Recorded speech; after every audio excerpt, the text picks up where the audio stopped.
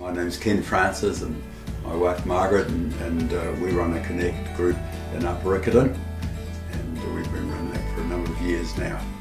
We just love seeing people growing in God and getting to know Him better and just seeing God break through in their lives and oh it's just a wonderful thing to see. A weekly get together, we do um, Bible studies, Bible series, we also have prayer and worship. We have the odd potluck meal and we're quite good evenings when we have a potluck meal and we just enjoy doing church together and um, growing in God. Yeah, and we love seeing people break through in their in their own challenges. I suppose we should say that we are um, elders in the church and have been for a while. We've been in Living Waters here for 28 years. yes, that's the number.